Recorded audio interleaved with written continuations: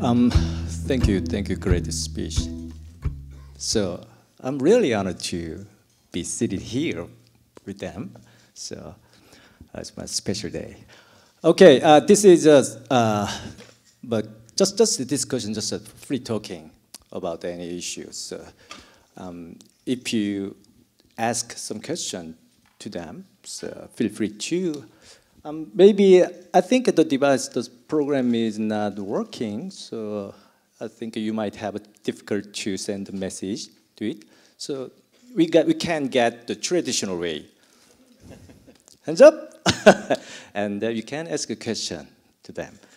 Okay, uh, before them, uh, so I have uh, I want to ask a question. So I got the one question from my volunteer uh, to the Yochai Benkler, Professor Benkler. Um, he read his, your, uh, your books. So he felt that when he read that the wealth of network, he uh, had many difficult to understand the sentence, the words, very difficult. But your new book, The Penguin and Leviathan, it was so easy to read that. So he was curious about that. Is there any change in your mindset or any change in your strategy to provide your idea to the people? I was just trying to copy Larry in his enormous ability to reach out and explain to people. Um, there are trade-offs. There are trade-offs between what you can do with um, more academically oriented work, which actually had much more purchase than I expected it would beyond a, a narrow academic audience, mm -hmm. and doing something that's actually intended to communicate more broadly. I think yeah. at the time of Wealth of Networks, it was important, at least in my mind, mm -hmm.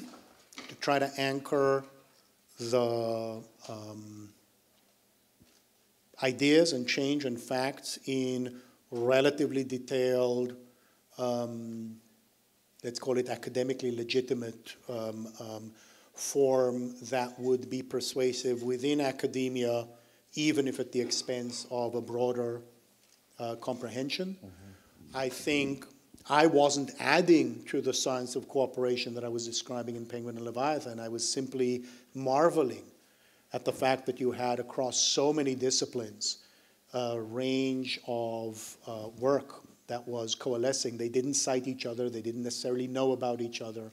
But I thought that it was important for people to understand, in some sense, that that which normal people understand, that we are complicated. Yes, sometimes we want money, sometimes we, uh, we want social. That which we understand about ourselves is not something that being expert and educated should lead you to abandon. In fact, it's something that should. So, different books, different purposes. Um, and um, uh, not sure what the next one will be. Great. And already um, you mentioned the, the ceremony, the weird ceremony the 10 years ago. I said that you're, you're talking about the freedom, but the atmosphere is not free. so, but the one thing that you didn't know, so at the time, some professor that came to the event and for uh, providing some congratulational address. But uh, he just heard that this event is uh, about copyright. So he said, we need to protect the copyright and we need to defeat the piracy. So I, I said to the translator, don't translate to him.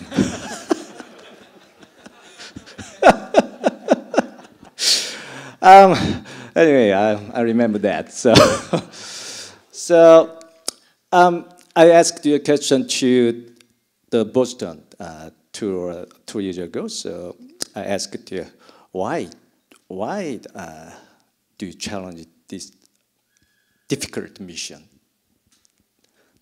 The changing Congress at the time. So I, I said that you think that is it possible? Do you say that no, it's not, it's not possible? Why did that? You said someone is need to do. So there's a conversation between us.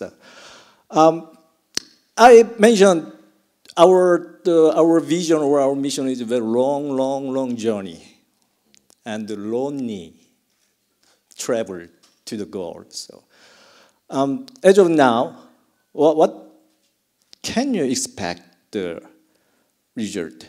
So, you can, the, can you expect your mission is uh, succeeded, successful, or get some output?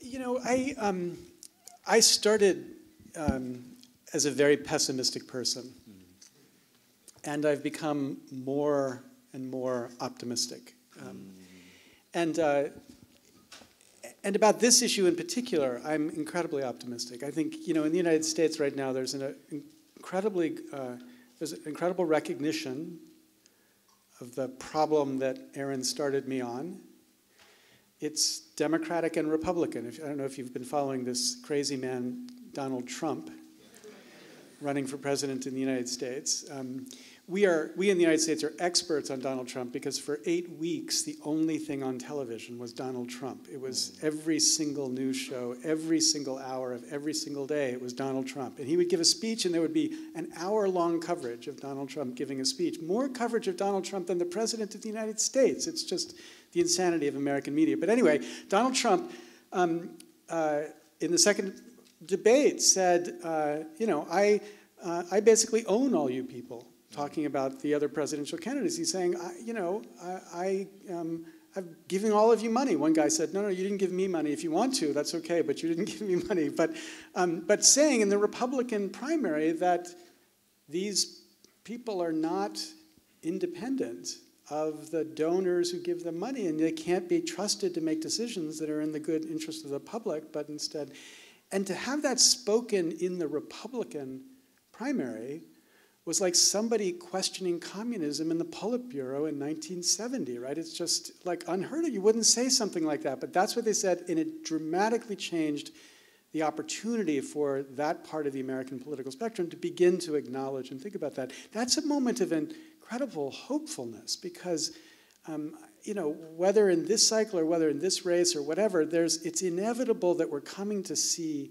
just how deeply corrupted and, and failing in the sense the government is. And, um, and I can't be anything but uh, you know, optimistic that that recognition leads to something in response. So when I spoke to you, it might have been a bad day, uh, but, um, but no, it, I, as hard as it is to get people on the inside to acknowledge it or people um, the inside to think about how it's going to be fixed, I, I actually am very, very optimistic that um, we're going to find a way to do this. It's great.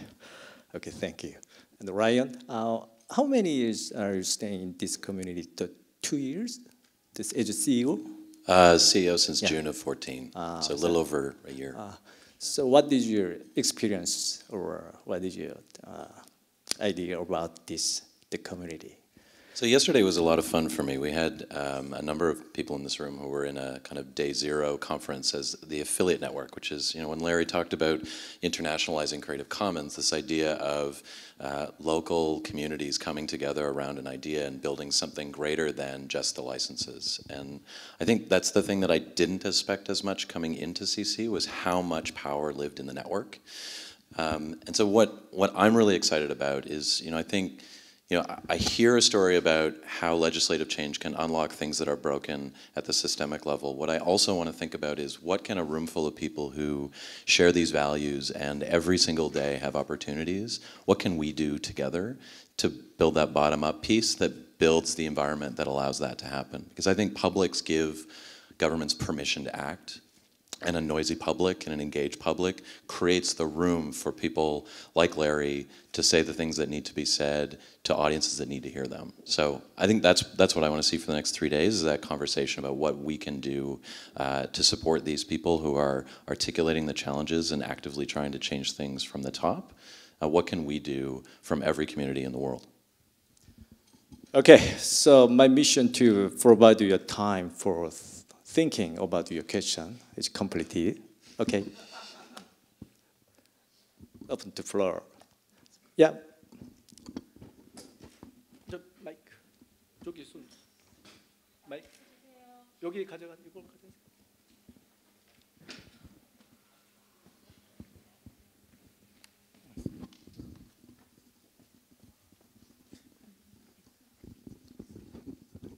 Oh, hi. Uh, if you don't mind sharing uh, me sharing my uh, personal experience, so I actually worked on our, my PhD dissertation about Creative Commons license in 2005.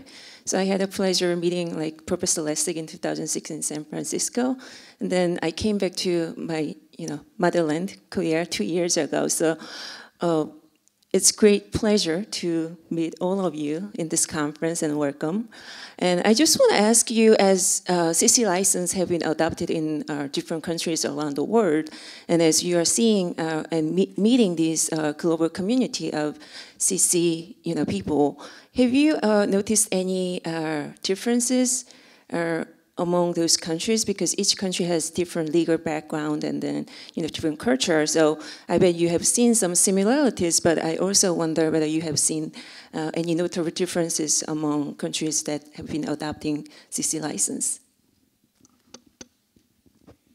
So I, I guess my own experience is what CC did was give people a way to name a very human experience that they were having long before CC was there. This is a point that I think Yochai's, uh, Yochai was making before, that you know, um, we all have this experience of this different way of connecting and sharing. Um, um, and now we have a structure to identify it. And once we have a name for it, we can then see it across a much wider range of contexts. And so when I've met CC people um, everywhere, um, in a certain sense, they're the same in that they want to practice this experience of sharing. Sometimes they're dealing with particular problems. So CC, CC um, uh, UK was born around the problem of how to take the BBC archive and make it more accessible.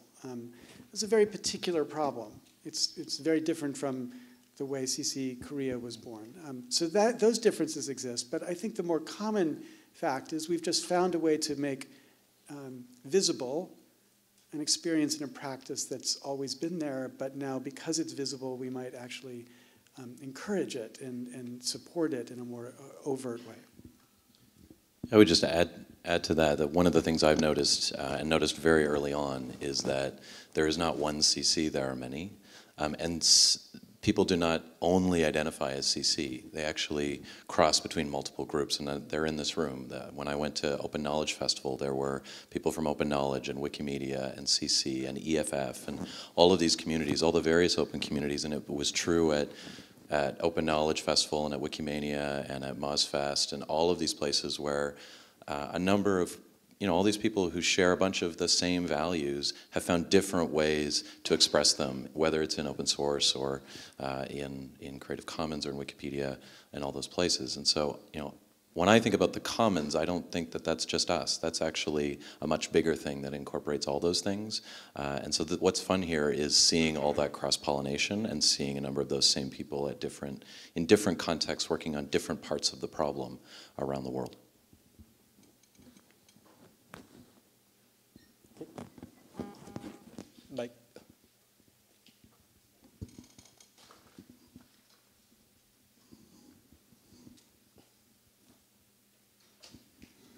Uh, hi, uh, Cable Green from Creative Commons. I work on education and our, our work in open policy to help people with money require open licenses on works that are funded specifically from the public. Uh, Yochai, this is a question for you. You talk about how we can rethink economics, rethink economic models and relationships uh, in using a commons framework, and how Creative Commons is central to that more often than not, when our community is engaged with open access or open educational resources or open science or whatever the open topic might be, we argue when we find ourselves on, uh, in discussions on playing fields in the popular press where we have to argue from usually a fringe perspective. We're out, uh, you know, on your chart from the XY axis, we're out on the fringes and uh, we have to argue why this is a better way how do we switch those arguments around, as you so eloquently stated in your talk, so that we aren't viewed as uh, the fringe in some of these conversations, but rather as a more rational economic solution? um, to what's currently exists. Too often we're, we're asked and challenged, and the burden is put on us about why the change should occur. Uh, what's your advice on how we turn that conversation around to put the burden on existing systems which are no longer working for society? So there's a background. Um, uh, famous American muckraker Upton Sinclair said um, it's uh, hard to explain an idea to a man whose job depends on his not understanding it. Um, uh, and that's part, I think, of what you're encountering. That is to say, there's a hangover of 40 years of dominant economic thinking of a certain kind that makes it easy, without thought, to reject evidence of something else. And when you're in negotiations with uh, somebody whose business model it is not to do what you're uh, doing, um, it's hard.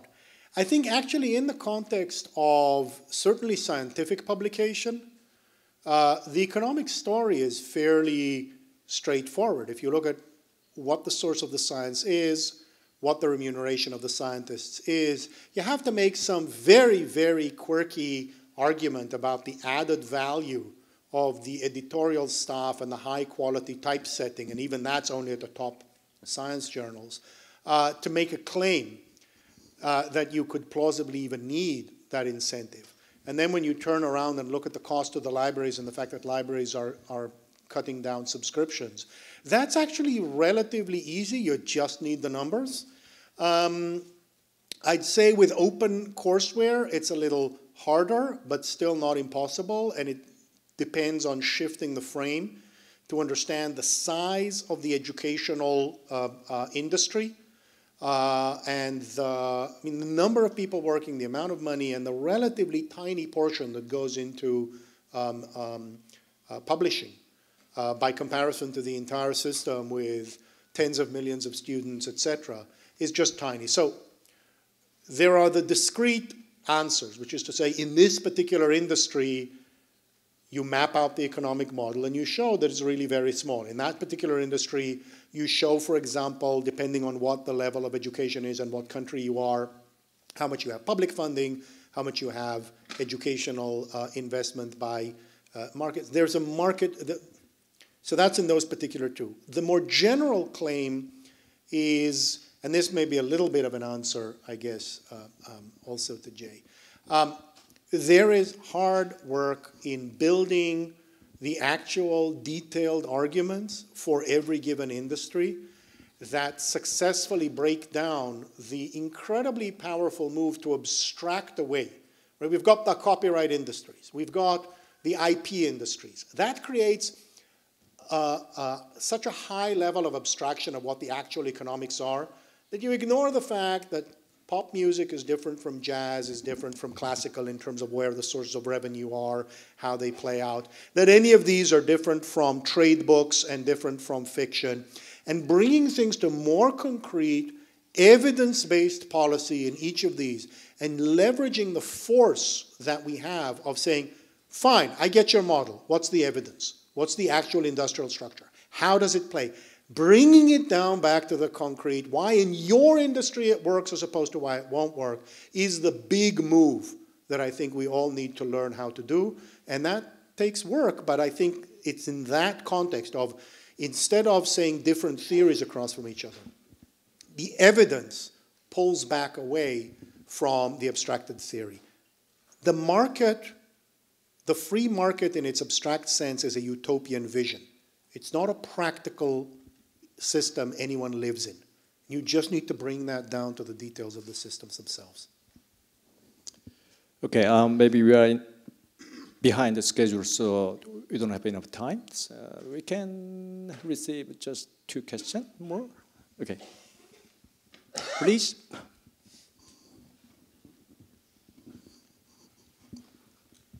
Thank you. I'm Hal Plotkin, presently with uh, CCUSA. Larry, it's so great to see you here. Thank you for making the trip. Um, uh, the, the response you just gave and, and Cable's wonderful question uh, focused on our opponents and how we overcome their arguments. But in my experience, our opponents are a tiny minority of the population, the people who actively contest us. typically out of very narrow self-interest.